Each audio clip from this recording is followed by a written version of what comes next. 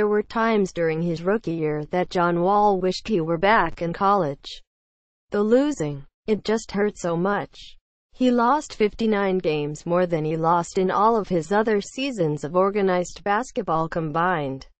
Let me get paid and go play in college.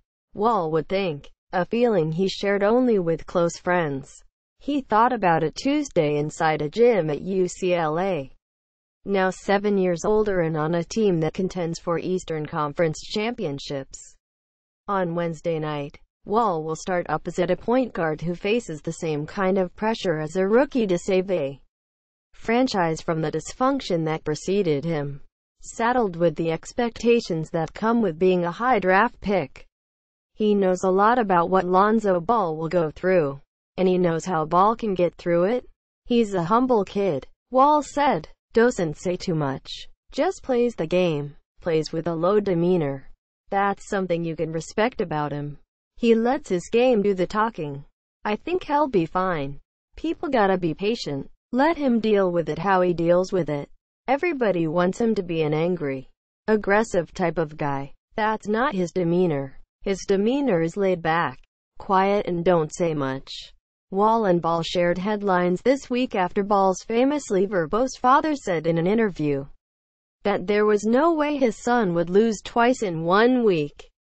Wall's Washington Wizards teammate, Marcin Gortat, replied to the proclamation on Twitter saying that Wall would torture Ball for 48 minutes. The competitor in Lonzo. Of course he didn't take it so well.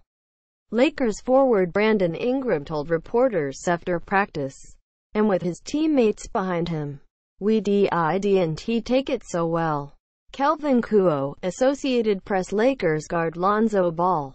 Right. Dribbles around New Orleans Pelicans guard E'Twaun Moore on October 22. Lakers guard Lonzo Ball. Right. Dribbles around New Orleans Pelicans guard E'Twaun Moore on October 22. Kelvin Kuo, Associated Press. Wall doesn't plan to torture Ball any more than he tortures other rookies. You want to show rookies what this league is about. Point blank. Period. Said Wall, the first pick in the 2010 draft. That's what I'm all about. That happened to me coming in. Every point guard I played, even the guys that weren't a top 10 point guard, top 15 point guard, those guys are going to target you. He remembered one particularly tough stretch when he played against Derrick Rose and Rajon Rondo at home, then traveled right away to face Steve Nash, Chris Paul and Russell Westbrook. He also remembers having to adjust his game after years of relying on his athleticism to carry him against lesser opponents, and he remembers needing to learn to become a shooting threat. He shot 40% overall in 29, 6% from three-point range as a rookie. Opponents backed off when he had the ball, happy to let him shoot rather than make plays, as they are likely to do against Ball this year. In this league you gotta prove you can do it. Wall said, they still do it to me at times. Ball was a better shooter in college than Wall was making 55% of his field goals and 41% of his three-pointers. Through three games in the NBA he's shooting 35% overall and 29% on threes. Percentages that have some wondering if his unorthodox shooting motion can work in the NBA. I'd tell them to go study Reggie Miller's career. Lakers coach Luke Walton said, It doesn't look great. It can be an issue. Yes. But, Ball has a track record of being a really good shooter. So for us to try to mess with it would be silly. I'm obviously not calling him Reggie Miller, but his shot probably could have been fixed by a thousand people who wanted to fix it. And he is one of the greatest shooters our league has ever seen. The Lakers have no plans on fixing Ball's shooting motion. Comfortable it will improve on its own. Wall's shooting didn't improve on its own as he sat out the first few games of his third season. He watched more film to see how defenders exploited his poor shooting.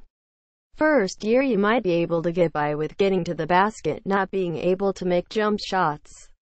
Wall said, but if you want to be somebody in this league and be something special you've got to learn how to knock down a couple shots. Now Wall is one of the league's best point guards. A player Walton called an elite, elite point guard and one who has the same advice for ball that LeBron James once had for him as he slogged through losing like had never experienced before. Just keep working and eventually you and your team will ascend. Once we got better, our team got better. We added pieces. Then people wanted to come play for DC. Wall said, a lot of people are gonna want to come play for the Lakers.